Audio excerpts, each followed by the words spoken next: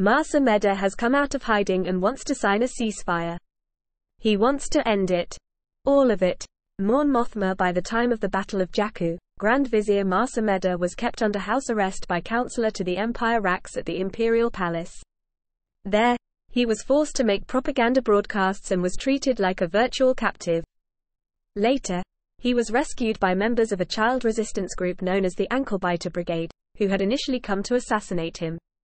Amedda managed to persuade the child resistance fighters to help him escape so that he could end the galactic civil war.